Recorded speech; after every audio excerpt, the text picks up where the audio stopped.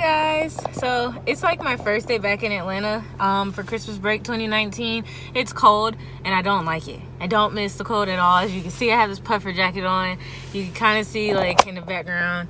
It's like really brown and dead looking outside. Here look.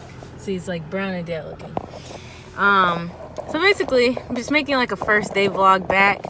And also in this video i will be telling you the things I learned during the first year of my vet school experience. Now, for one, I'm about to go to a doctor's appointment because I start working next week and um, I really don't want to have to take off of work. But this is my first day back driving on what is this? The left the left side of the road? I don't even know. Um, what I told my dad, because he was nervous, is that I realized where your driving steering wheel is, you should always be in the center. So that's what I'm doing. So I'm in my neighborhood right now. And so, oop, that's the windshield wiper. Everything's reversed again. Um, so now, you know, just I had to feel my way because I've been driving on the other side of the road for four months and surprisingly it just seems so weird. Like I told my dad he was turning on the wrong side of the road. So, you know, we're just gonna chill. We're just gonna chill. But um yeah, I had every intentions to start this video when I first got home. But I was excited to see my dad. You know, I had to drop all my stuff off. I was super tired. I got my Rooster Booster slushie. I already spoiled that, so I'm not putting that in here. I was so happy to get that. Um, and so yeah, so I'm back in Atlanta. Like I said, I have a doctor's appointment. So that's where I'm going. But anyways, as the title of this video says, I'm going to be telling you some things that I learned during my first year of vet school. And these are not to be taken seriously. This is like kind of like truthful, but also like very lighthearted, as all I say in like all my videos. Like, please don't take me seriously because I joke about things and I like to laugh. So yeah. Anyways, gonna have somebody to talk to on my way to my doctor's appointment. To all of you guys. So don't mind me not looking at y'all because I'm obviously being a good driver and watching the road.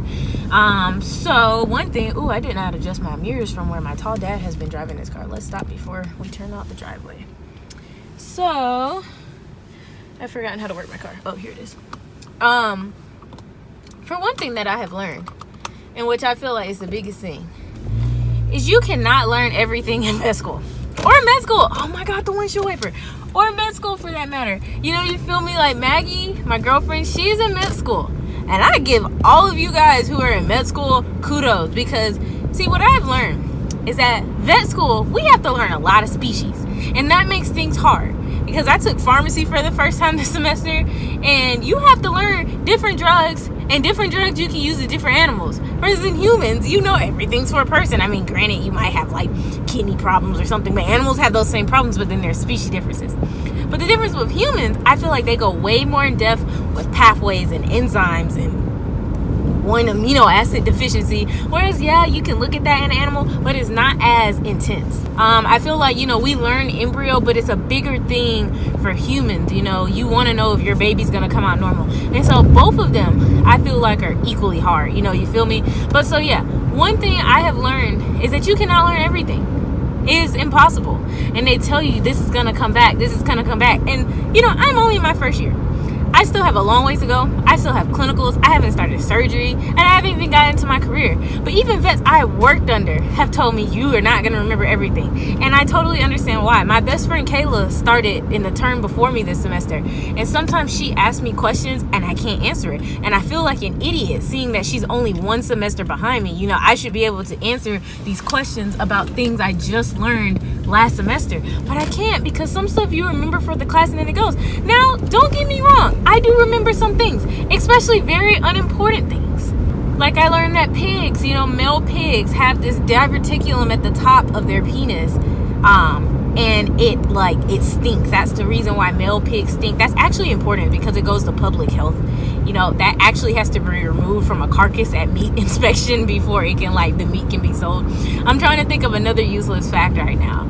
Um, but just you know i i feel like you know the useless stuff kick like stays in your head because it's interesting or strange but I mean, you know, I feel like as you go on into the world, and I even see this, you know, seeing that I've, I've worked under several veterinarians in different fields. You, you know, you learn the stuff that you're gonna know. We have to learn every single important drug out there for pharmacy, and I've I know some of them, and the ones I know are the ones we have stocked in the clinic, and the other ones that I've never heard of, obviously we don't have stocked in the clinic because every vet is not gonna use every drug. So that's one thing for any of you in undergrad or pursuing a career or education in something, it is impossible to learn everything. But you know, you have to just learn how to pick out the important things and then you test walk. Another thing that I have learned in vet school is that vet school, don't mind my tassels. This is my high school and undergrad tassels. So hopefully one day I can put my vet school tassel when I graduate up here. Um, but another thing that I have learned is that, in my opinion, vet school is easier than undergrad. I struggle in undergrad. I st- struggled in OChem especially. Like, oh my gosh, I was OChem's like B word. Like, um, I struggled in genetics. I struggled in biochem. All of that, like, really kicked my butt. But now that I have started vet school, everything is interesting. Like, you know, this is like, I've always wanted to be a vet. I've always been interested in animals. And so everything just comes like, you know, it's interesting because this is what you're supposed to be passionate about. Obviously, if you're spending like almost like $200,000 on a, you know, degree right now. Um, and so I feel like because I'm interested in it, it becomes easier. And I feel like some people feel discouraged when they don't do well in undergrad or your undergrad advisors tell you if you can't do this you'll never be successful in vet or med school or law school or any type of professional degree. But i feel like once you're in the field of what you're interested in it becomes a lot easier. In fact i realized already after just my first semester my gpa is better than it ever was an undergrad and i still don't think it's like there yet but like even from just term one to term two at the end of this semester finishing my first year my gpa moved up like 0.2 points so i find that good and i mean I get it. Some people struggle. You know, there are people in my class who struggle. There are people in my class who've had to repeat classes. And I'm not dissing it to anything. I'm not saying that vet school should be easy and everybody should just, you know, fly by, like everything should just fly by and, you know, fl- like, blah, pass with flying colors. But I feel like, you know, if this is really what you want to do and you're passionate, it becomes easier. That's just my opinion, and that's what I have found. Another thing that I have learned in vet school is that people say people say that you know everybody once you're in like you know professional school everybody's on the same level. You know there's no more competition. That's one thing they you know try to drill into our heads and you know most schools will try to sell you on because even sgu did this. They try to tell you that oh you know, there's no that that competition where everybody, you know, is just trying to weed people out, like in undergrad where you're just trying to weed people out because, you know, you want the best spot in the class. You know, you have to compete with these people to get in. There is still competition in vet school. There are still going to be people who have certain resources that they don't share. There's going to be people who do well and know things and just aren't willing to help you. And I'm not trying to say that vet students or any, you know, professional level student is malicious. Because mind you, being at SGU and going to the vet and med, seeing it, my girlfriend's in the med program, so I, I feel like I get half of a med degree. I should be getting half of an MD when I graduate. She should be getting half of a DVM when she graduates.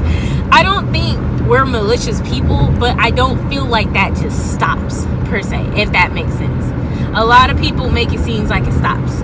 And I mean, just being realistic, there's competition everywhere in the world. So I mean, that's never gonna stop. But I feel like people try to paint the picture that like, oh, once you're in vet school, all that competition just goes away. Everybody wants you to succeed. You're all on the same page. And especially here at SGU, for us to get into our clinicals, it's based on our GPA. So we have to, if you want, if you know you want to go to a school, if they only have three spots, they pick the top three people with the top GPAs that chose that school as their first choice. So I feel like the competition doesn't start, um, stop. And I mean, I do feel like as a class, at least my class per se, is very connected, you know, I would say. But I do still feel like there are those rifts, there's the drama. Oh, that is another thing.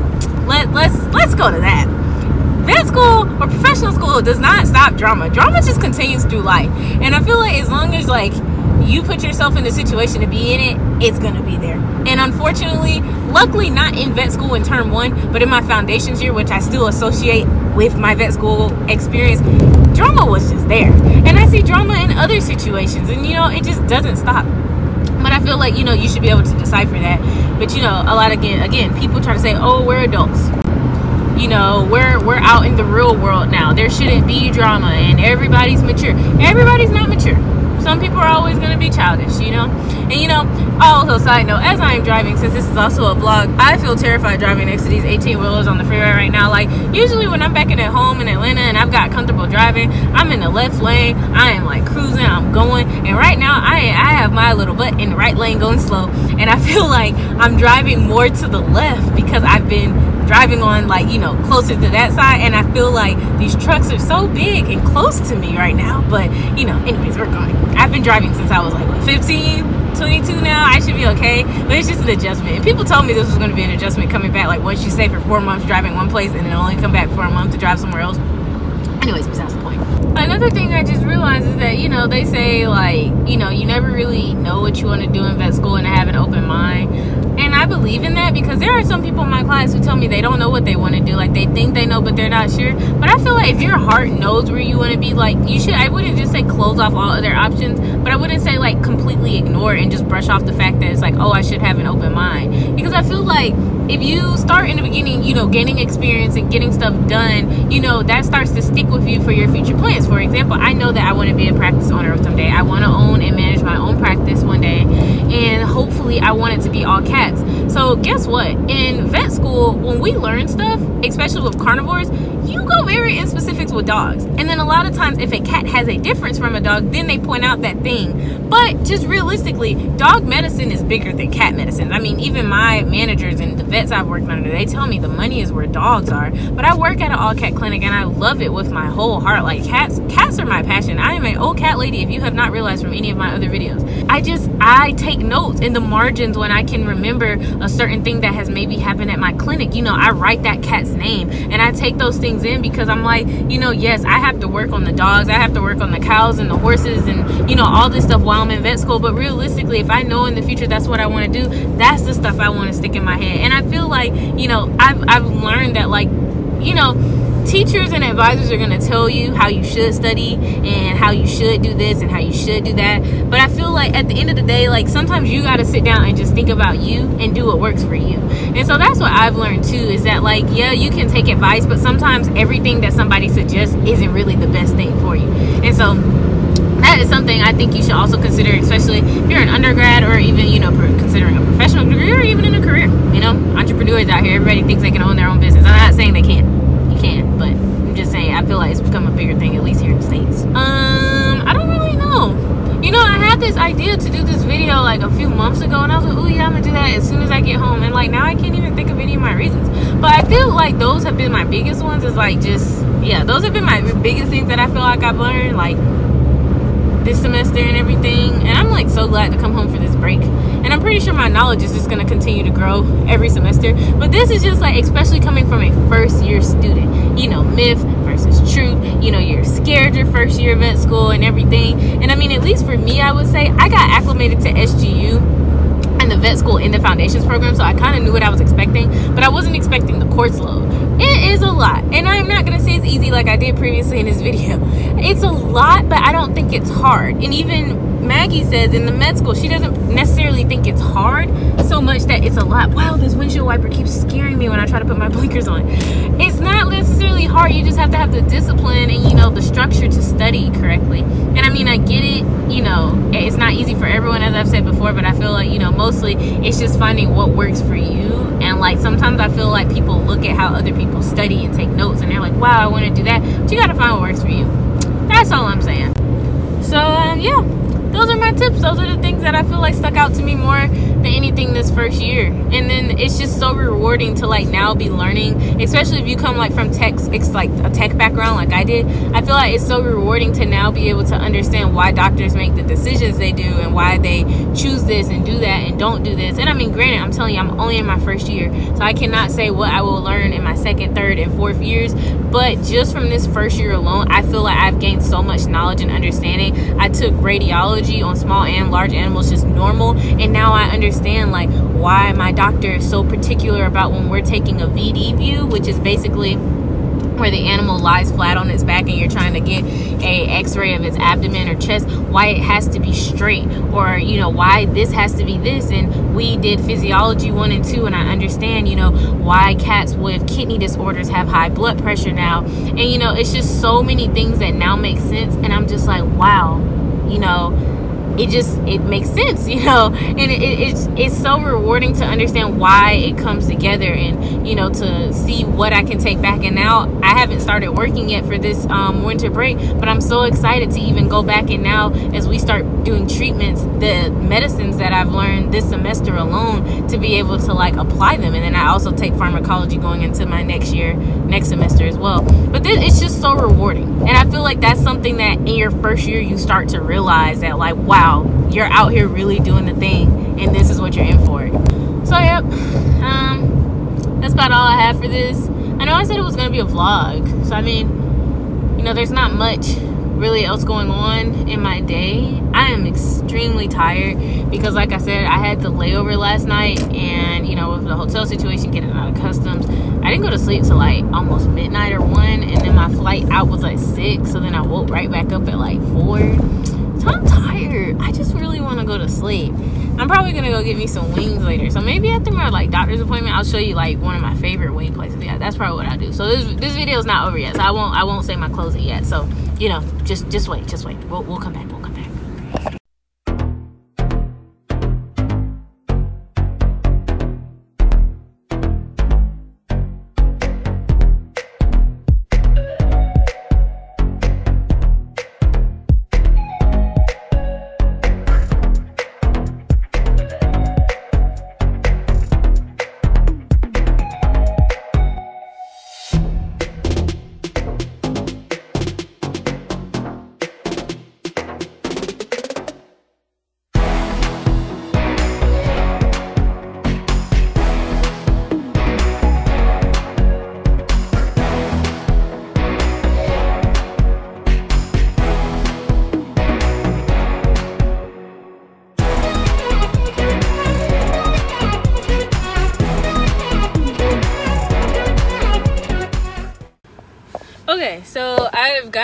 out of the doctor's office and I drove to the place where I told you that I was going to eat that I'm so excited to eat. So wings are like my favorite food. Like I love tacos and I love pasta, but I think if I had to like eat one thing for the rest of my life, it would be wings because I feel like you can just like always eat it no matter what. You can make them in so many ways. My favorite is honey mild, honey hot maybe i think i mentioned this on like my get to know me video but i love like lemon pepper you know parmesan garlic ranch like all of them the whole nine yards. Like you can't go wrong with wings i just really don't like really spicy things. So anyways i'm at this place called ruchida so um, Ruchida is very similar to this place called American Deli that I mentioned before. Um, but they this is only in Atlanta, and so they sell wings, um, Philly cheesesteak, fried combos, fried fish, fried fries, all that stuff. Their Philly cheesesteaks are really good, but I'm coming for the wings. And I'm actually going to dinner with my family later, and I've kind of waited late to eat. It's like 3.30 now, we're going to eat around 7. But I don't care. I'm going to just get like a six pizza combo. Uh, the best, the best, like the best. I'm about to go in. Um, yeah, I love this place. This is like my favorite. Okay, so I just got home now, and I'm about to walk in. My book bag is my purse because I don't like wearing purses. Um, paperwork from my doctor. I'm struggling, guys. Just trying to hold y'all and everything else. Um, yeah. So this is my house. At least my mom's house. Um, because when I'm home, I switch back and forth between my mom and my dad's house. Um, yeah, and everything. So I'm about to walk in and show y'all my food, and I'll end this. So I just got in. This is my dog Odin. Hey Odin. Hey buddy. Okay, let's go outside. It's like Christmassy and stuff. Uh, it's time for Odin to go outside. And this is the games he plays. This means he doesn't want to go out, but he really should be going out. He just wants attention. Come on. Let's go. Let's go. Let's go outside. Come on. Stop playing games. Let's go. No. Come on, Odin. Okay, if you don't gotta go, you better not be begging me for my food. Okay, you hear me? Because he likes to beg. Okay, so, moment we've all been waiting for. My wings. So happy. I have so missed these. Fries and wings. I only got a six piece. Some of the fries kind of shifted. But yeah, and as you can see, like half my sauce fell out. But yeah, tons of wings and fries. This is just a six piece, and I love me some ranch. I'm sorry, oh, I sounded so country just saying that. And I should have celery somewhere. Yep, I got celery.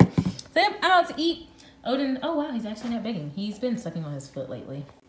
Um, but anyways, I'm about to end this here so that I can eat me food. Um, yeah, I'm very hungry. I haven't eaten all day because I feel like it's because I've been like super tired. But um, yeah, I've been requested to do a mukbang. I'm not doing the mukbang in this video, but hopefully I'll be doing it this semester semester wow i've been stuck in school this break um anyways be sure to like and subscribe if you already don't um i have a if any of you are actually future vet students that are watching this because i like the the title you should you know check out some of my videos about sgu you know that might be your next home or even in med school if for some reason you came across this. And if you're just one of my returning subscribers that just like to follow me, like thanks for watching, all that jazz. And until next time.